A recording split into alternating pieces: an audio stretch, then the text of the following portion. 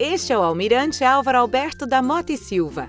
Nascido no Rio de Janeiro em 1889, ele ingressa na Marinha do Brasil em 1906, dando início a uma importante trajetória que mudaria os rumos do desenvolvimento em nosso país. Nos anos 20, como tenente e recém-formado engenheiro geógrafo, Álvaro começa sua carreira de professor. Nesse período, logo após integrar a comitiva que recepcionou Albert Einstein no Brasil, Álvaro Alberto apresentou suas primeiras invenções. Dois tipos de explosivos, visando a independência financeira do Brasil, e uma tinta antivegetativa, que impedia a fixação de organismos no casco dos navios.